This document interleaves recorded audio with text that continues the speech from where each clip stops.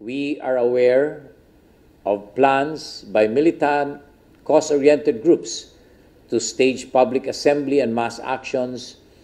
in several venues on May 1 in commemoration of Labor Day. Much as we respect their right to peaceably assemble out of the exigency of a health crisis situation, we beg to discourage them from pursuing these plans for their own safety and in the best interest of public health. Let me emphasize that the strict enforcement of the ECQ is the state's fulfillment of its duty to protect the right to life of its people,